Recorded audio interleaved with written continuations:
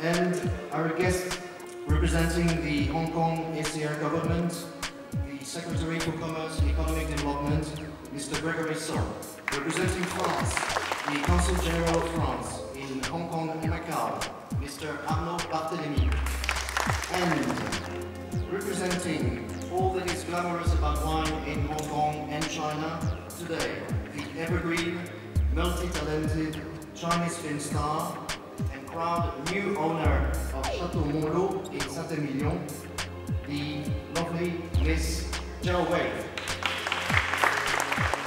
Our guests would now like to say a few words. So for me, please enjoy the next expo, please enjoy Hong Kong, and have a great expo. Thank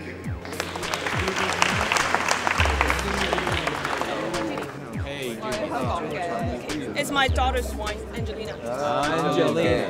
And actually, we also get some local young artists from Hong Kong. Okay, where is uh? Well, we have a dear friend here. Bonjour madame. Burgundy, Pinot Noir. Our city has become the world's largest wine auction center. Total wine auction sales in Hong Kong have fetched 756 million US dollars since 2008.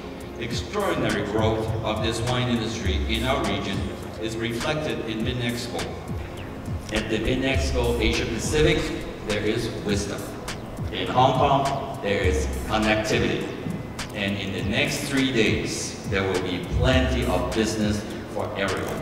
Thank you, and have a great day. Ladies and gentlemen, I just want to welcome you to the New Zealand booth, and I hope you enjoy some of the sweet flavours of our New Zealand wine. Our next item that we're going to perform to you is known as the haka.